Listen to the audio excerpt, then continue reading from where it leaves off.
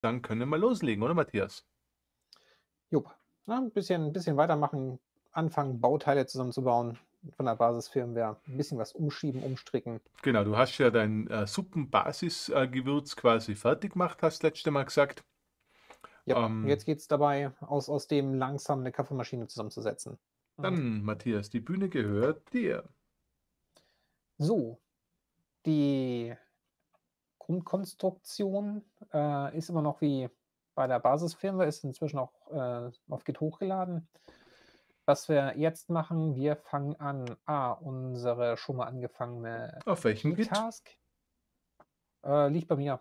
Aha. Also nicht auf dem Ihio Git. Frag für einen Freund. Ja. Ähm, genau. Das heißt, wir haben mal den angefangenen Key-Task von ganz, ganz vielen Streams vorher äh, ein, eingebaut. Ja, den haben wir hier mit den gesamten Tastenbelegungen. Die sind auch noch äh, in der Ausbaustufe für die komplette Kaffeemaschine. Also mit allem drum und dran, mit Powermeter, mit Mhm. ne, noch nach alter Also jetzt Patina. quasi das, was wir mal gemacht haben. Genau. Mhm. Das kann man ja entsprechend anpassen und weiter benutzen. Oder weiter mit einbauen, also wo man schon dabei ist. Ne? Ist, ist ja fertig, ist ja geschrieben, Mhm.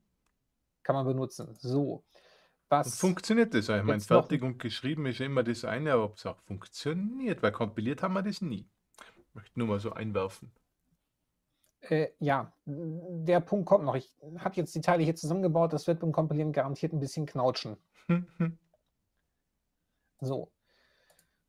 Dann, wir haben unser Display weiter dabei. Ähm, wir haben unsere LEDs dabei. Die LEDs sind hier in eine Klasse ge- äh, eingebaut worden. Der Grund dafür, ich kann diese LED-Klasse nachher in unser Kaffeemaschinenkonstrukt übergeben. Und was man sieht, was neu ist, bei der Sense Ehio, es gibt hier eine Sense Ehio-Klasse. Diese Mhm. Sense Ehio-Klasse hätte ganz gerne einmal einen Pointer auf eine LED-Klasse, auf eine MQTT-Client-Klasse und auf unsere Web-Service-Klasse. Das heißt, da gebe ich die Bauteile mit runter. Und da ist dann die Idee, die Pointer entgegennehmen. Ach so, im Übrigen, Matthias. Hallo und Mhm. herzlich willkommen allen, die hier bei YouTube die Zusammenfassung anschauen. Wir sind schon mitten im Getümmel und Matthias programmiert schon fleißig vor sich hin. Natürlich habt ihr noch nichts verpasst. Wir haben quasi nur ganz wenig gemacht. Aber willkommen und danke, dass ihr die Zusammenfassung schaut. Und wichtig, wenn ihr mal uns live sehen wollt, Wenn es live mit dabei sein wollt, jeden Mittwoch auf Twitch. außer Dienstags. Was? Wichtige Dinge? ja, Twitch. Mittwochs. Es sei denn, wir stehen dienstags. Genau. So, ähm, genau. Damit bauen wir unsere Klasse zusammen. Ähm, es gibt hier eine Init-Funktion, die einmal uns die gesamten Pins initialisiert, unseren äh, Key-Task mitstartet für die äh, Erfassung für Taste gedrückt, losgelassen, lange gedrückt, lange losgelassen. Und in dem Loop hier werden wir so unser Housekeeping nachher durchführen. Mhm. Wir mal schauen, wie wir damit äh, weiter vorankommen an der Stelle. Denn unsere Kaffeemaschine muss ja die Temperaturen messen, muss die gesamten Eingaben regeln, braucht einen kleinen Automaten, wie bei der alten auch schon, die sich um die Benutzereingaben kümmert. Und wir haben jetzt hier nicht nur ein paar LEDs, die wir mit Daten befüttern wollen, wie es uns gerade geht, sondern wir haben auch einen MQTT-Client und einen äh, Web-Socket-Server und Web-Server, mit dem wir auch ganz gerne Daten austauschen möchten. Zumindest die Statusinformation der Maschine. Im ersten Schritt. Na, sowas wie lauf schon mal los, halt schon mal das Wasser vor, ist dann so der zweite. Dass man sie morgens wecken kann. Oder Mhm. dass sie morgens von der Hausautomatisierung geweckt werden kann. Könnte, wenn es funktioniert, dann. Also meine kann das schon. Ja, ich arbeite dran. Ja, da muss man mal gucken, wie man den äh, Regler für das äh, Konstrukt nachher aufbaut. Aber das ist so jetzt das, was, was so kommen muss und sollte. So. Dann, wir haben hier unseren Start Key Task, ne, der einmal dafür sorgt, dass wir hier genau unsere gesamten Tasten äh, abfragen in einem eigenen Task, der nebenbei äh, mitläuft. Und äh, ja, Ja, was wir da das, was wir quasi müssen. gemacht haben, ja. Und was ist diese Genau. Pins definiert? Oben irgendwo. Achso, die Pins, ja, die kommen hier aus dem äh, aus unserer Pin-Klasse. Und da ist dann eben halt fest hinterlegt, welcher Pin, was Mhm. wie wo ist und was macht. Es ist noch nicht aufgeräumt. Es ist einfach nur reingeschoben und ähm, ja. Okay. Und der So, Keytask kriegt quasi alle Keys über alle Pins übergeben und nimmt sich dann halt quasi die raus, die er braucht. Genau. Und über den, äh, über das Konstrukt der Pins selber können wir noch auf Tasten zugreifen. Wie gesagt, hier ist es eigentlich eher so, was er halt braucht, was überwachen soll. Mhm. Und bei der Maschine ist es Switch 1, 2, 3 und der Display-Button, wobei Den der nicht nicht mehr mehr existent gibt. ist. Ja. Mhm. So. Dementsprechend, und was wir eben halt auch noch machen müssen, äh, ist uns auf die Key-Events setzen. Und ab und an das Update, äh, nee, Update nicht, ähm, das äh, nicht mit Event, sondern äh, Register for Key Event. Mhm, haben wir mal gemacht, haben wir mal gesagt, wir machen es über Events. Mhm. Die, die im Stream da waren, die wissen es. Die haben dann nämlich mitentschieden, wie wir es machen. Genau. So. Und die kleine Besonderheit jetzt hier in diesem Konstrukt, wenn man jetzt das zwar das Init, aber wir werden unsere Kaffeemaschine wahrscheinlich in einem anderen, also die Kernlogik der Kaffeemaschine in einem eigenen Task laufen lassen, damit wir die ganzen Events und ähnliches mitkriegen. Zumindest die, die State Machine. Genau. So, was wir jetzt, äh, was wir jetzt anstellen, das wird ein bisschen spannend. Äh, wir bauen mal für die Maschine einen zweiten Task zusammen.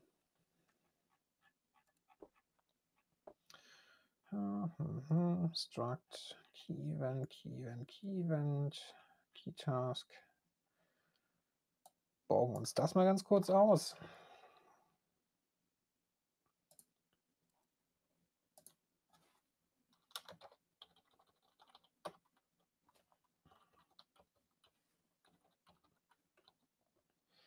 Kann ich das aus einem eigenen Task machen? Ja, kann ich.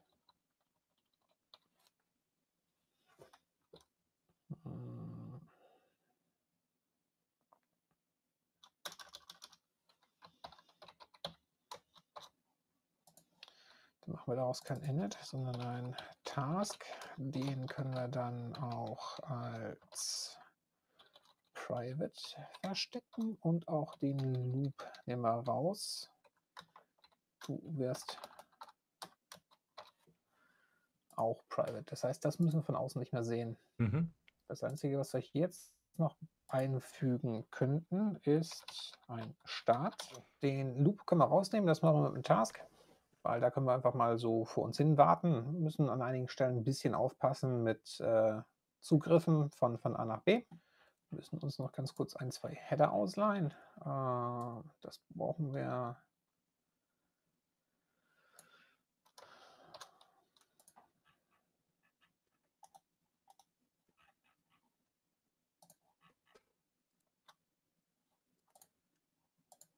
Was haben wir da mit rein?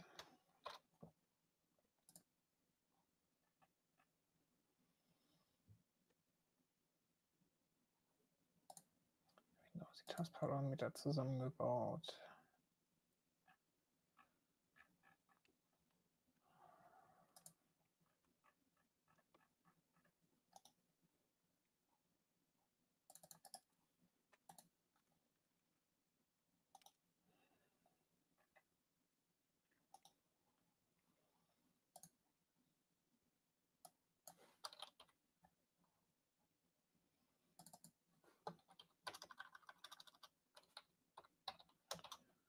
So, wir uns ein Stückchen Code von hier aus. Das war das std bind.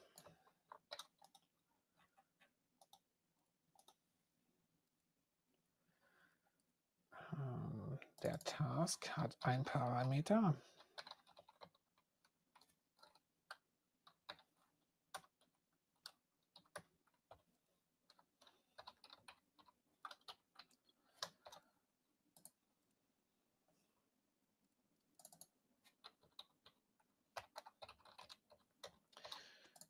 Kriegt einen Pointer.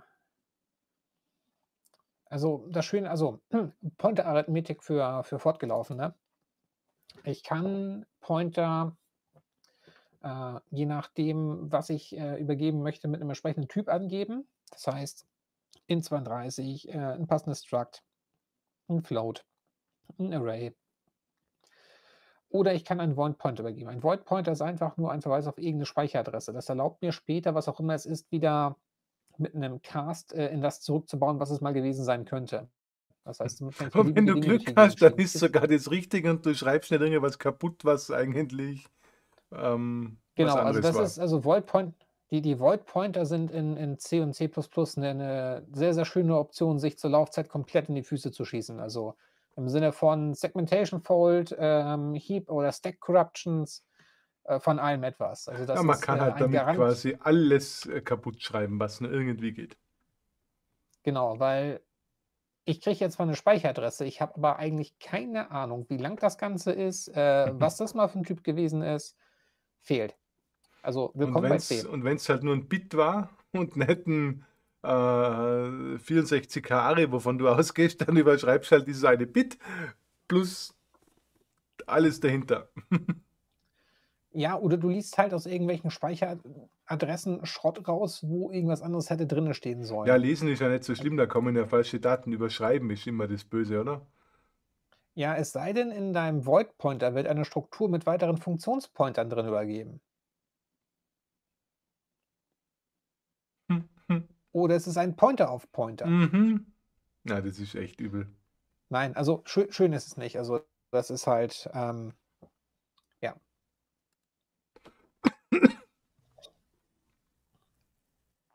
So.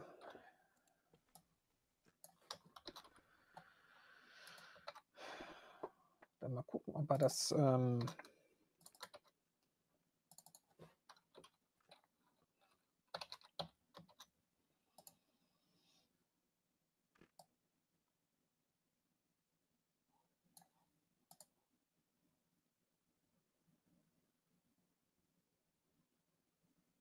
Hm. Er wird auf jeden Fall ein bisschen meckern. So, was hättest du ganz gerne da? Ähm, so, ich überlege gerade, ähm, die Konvertierung von dem, was wir hier gerne haben wollen, was wir da reinschmeißen müssen, meint er, ist nicht ganz so, wie man es gerne hätte. Na, er hätte hier gerne etwas vom Typ äh, Task Function T, was ein Void Void Pointer ist. Pointer ist. so, und da ist er schon sehr, sehr super, super unglücklich. Äh, das hätte jetzt eine Task Function. So. Und da hätte er ganz gerne was anderes.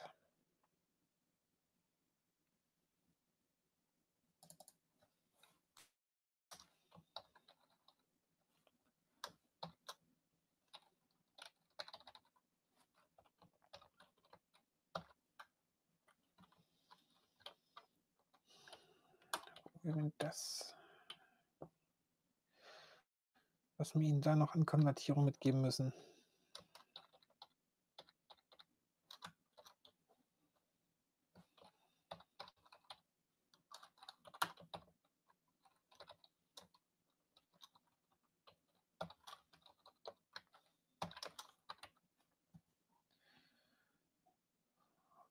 Mhm.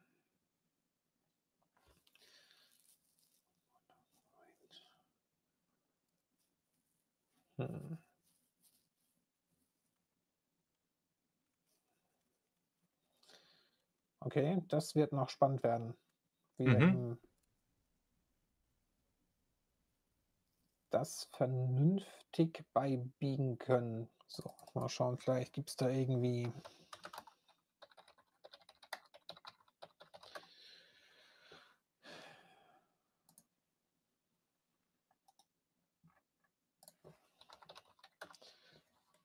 Im schlimmsten Fall müssen wir uns was in C drum bauen. So, das Problem haben andere auch. Ähm, ich habe so die Befürchtung, dass wir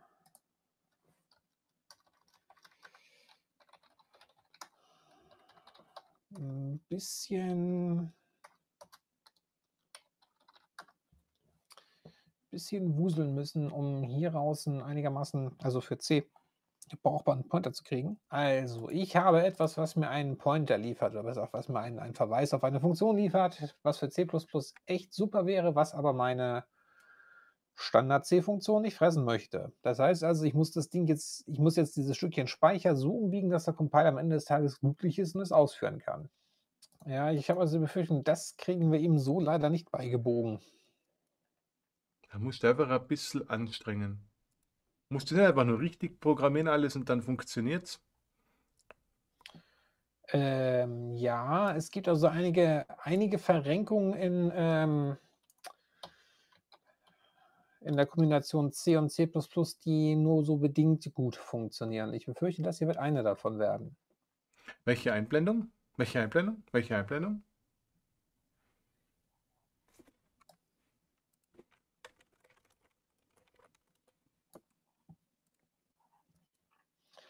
So, was uns jetzt zu einem kleinen Problem führt. Das heißt also, wir brauchen einen Standard-Pointer auf eine C-Funktion und haben aber Plus Plus hier zur Hand.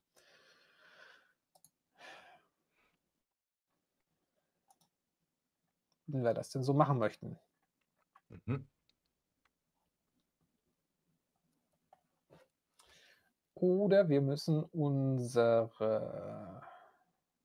möchte ich die umprogrammieren? Es ist ein wenig unglücklich. Nett formuliert. Ja, wir haben ja eigentlich hier unsere Startfunktion und wir möchten eigentlich hier unseren Task ausführen und das ist auch eigentlich alles super und auch eigentlich alles vorhanden. Nur, das geht nicht. Ähm, wie gesagt, das ist jetzt so dieser unschöne Part beim Programmieren, wo du eigentlich erstmal vor dich hingrübelst und versuchst, äh, grundsätzlich herauszufinden, in welche Richtung du es lösen möchtest. Genau, können wir da jetzt was anderes programmieren dabei? Nee, Matthias hört Ne, Soundboard so tatsächlich nicht Gummi. Ne, Soundboard ist hier definitiv, äh, komplett also, was auch immer Hannes gerade abspielt, ich höre es nicht. Ich kann ich kann's nur. Mhm. Hätte ich jetzt auch gesagt. mit äh, und und Internet und, äh, Ähm Störungen und geht gibt so nicht. 2 Möglichkeiten, die wir jetzt haben. Entweder machen wir aus der Sense also die Rubrik „Wir bauen ein bisschen Pfusch“ wäre, wir nehmen die Sense-EHU-Klasse weg und machen einfach C-Funktionen raus. Das wäre das Schnellste. Ja, dann machen wir's ordentlich. Äh, was ist ordentlich? Ähm Anders. Genau, dann gibt es auch kein funktioniert das mit dem Public und dem Private auch 'n bisschen anders?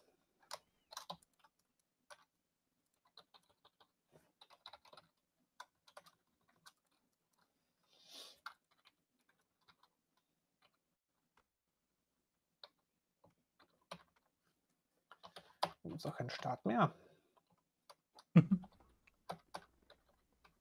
So, mehr ergibt da nicht. Das wäre jetzt die unschöne Lösung. Wäre ich auch dafür Gummi.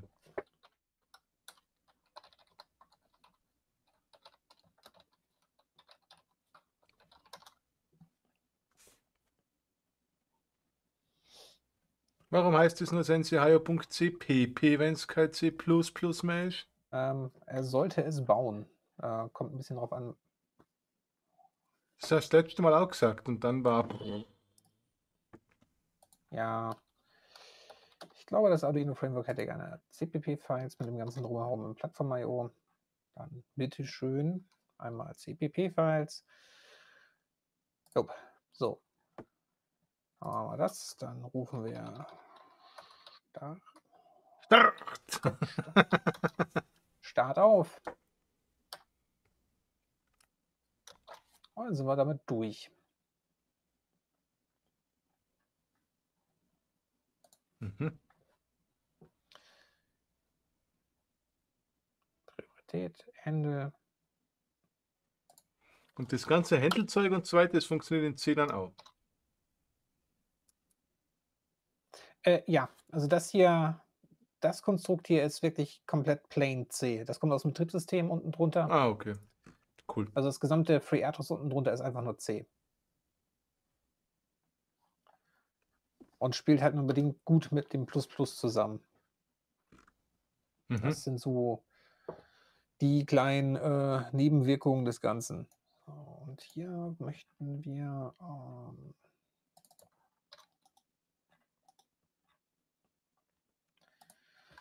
wenn das Ganze gestartet hat, wenn der Taste losgelassen wurde und dann hätten wir ganz gerne die Power-Taste und als Event Mask 1 dazu. Das heißt also, wir sagen hier, wenn die Power-Taste losgelassen wurde, möchten wir, dass unser Task gerne mit dem Event Bit 1 gesetzt äh, benachrichtigt wird. OneCup und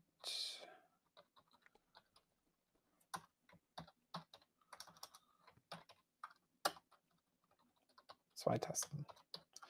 Äh, da wir keinen Display-Button haben, ignorieren wir das mal komplett. Das fliegt nachher sowieso gleich raus. So, in dem Task haben wir auch wieder unser auf besonderen Wunsch, while true. Das heißt, äh, da das ein Systemtask ist, ähm, können wir hier eine Endlosschleife reinwerfen. Der Scheduler kümmert sich um alles.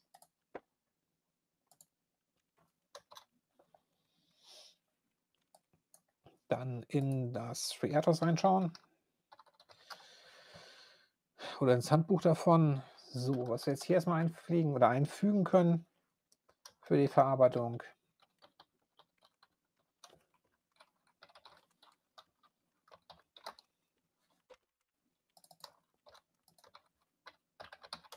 so ein bisschen durch die äh, Funktion. So, Blocktime.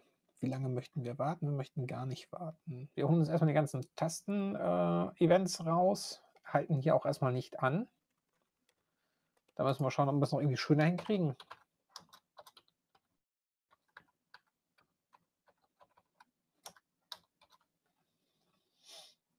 für den Automaten.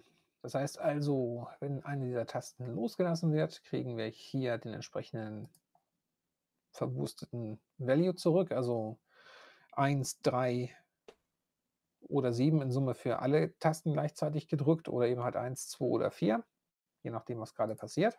Und wollen wir es einsammeln. So, und hier sind wir bei dem Punkt FSM zusammenbauen. Yeah. Das muss gemacht werden. Da könnt ihr ja quasi My FSM, die wir uns überlegt haben, übernehmen.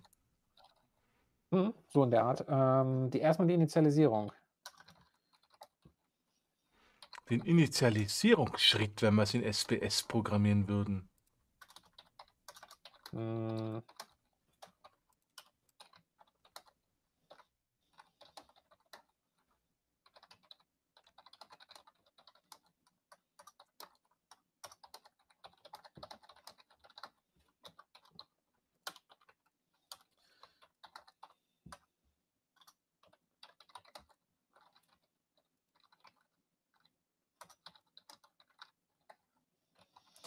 So, also das erste ist Heizung aus, Pumpe aus, Temperatur einlesen.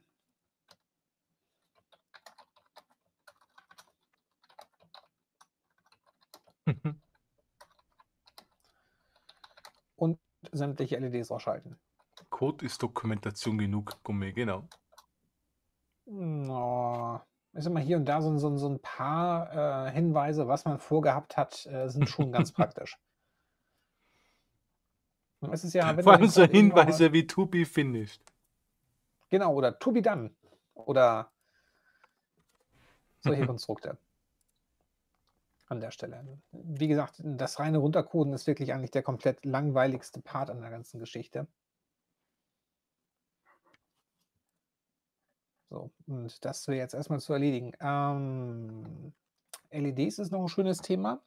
Ich wir hatten ja mal angedeutet, dass wir uns mal die WS2812 angucken, kommunikationstechnisch. Mhm. Das würde ich sagen, planen wir für den nächsten Stream mal ein. Das heißt, ich mache hier bei mir das, das Oszilloskop fertig. Mhm. Der Hannes kann ja bei sich mal das neue Oszilloskop dann Na, fertig so machen. Na, so schnell bin ich, glaube ich, nicht. Meinst du nicht? Ich meine, deine LEDs leuchten ja schon. So, äh, genau, W2812 LEDs. Ähm, wir haben ja eine LED-Klasse, die wir in die Kaffeemaschine rein packen und dieser LED-Klasse fehlen aber so grundlegende Dinge. Das heißt, das Ding startet zwar, setzt eine Geschwindigkeit, setzt für den Effekt eine Geschwindigkeit, also ne, setzt die ganzen Parameter für diese Bibliothek im Hintergrund. So, die, also die WS2812FX ähm, Bibliothek macht eben nicht nur Rot, Grün, Blau, sondern damit kannst du auch Effekte machen, Mhm. Regenbogen. Also das, das, was am Ende des Tages im ESP Home auch für die Farbeffekte sorgt Mhm. an der Stelle. Und da müsste man jetzt mal schauen, was man ganz gerne hätte. Ja, du könntest ja meine Effekte und so übernehmen, weil die waren ja, glaube ich, nicht ganz so verkehrt.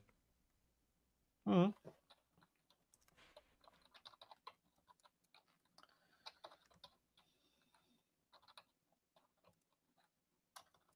So grundsätzlich.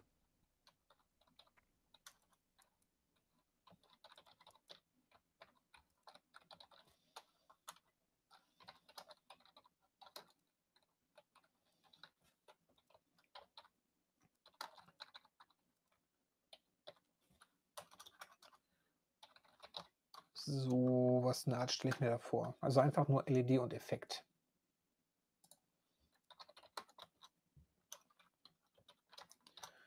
Ohne viel drumherum.